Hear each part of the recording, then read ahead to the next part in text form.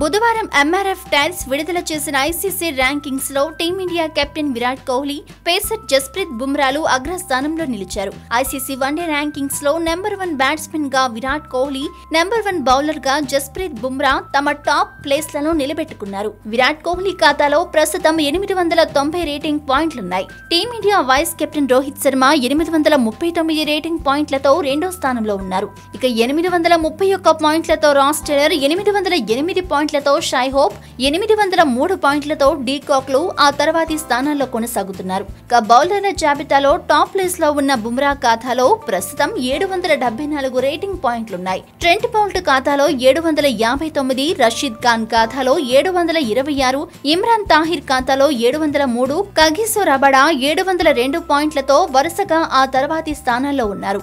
ఆల్రౌండర్ల జాబితాలో Bangladesh senior cricketer Shakib Ul Hasan top స్థానాన్ని కైవసం చేసుకున్నారు.